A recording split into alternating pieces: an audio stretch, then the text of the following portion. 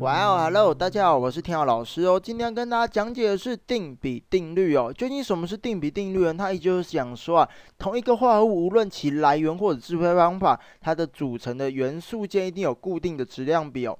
我们举个例子让大家了解一下。如果以水而言，H2O，无论你的水呢是从矿泉水里面来的，或者是从海洋里面来的，只要你都叫做水的话，我们的化学式都叫做 H2O。水不会因为你在矿泉水里面它就变成 H3O，或者也不会因为可能你在大海里面就变成 H2O3。只要你叫做水，同一个化合物，无论它的来源或者是制备方法，它的元素间的质量比哦，一定是固定的。如果大家还有其他不懂的地方，欢迎点进去我们底下的这几个链接里面看哦。我们下次再见喽。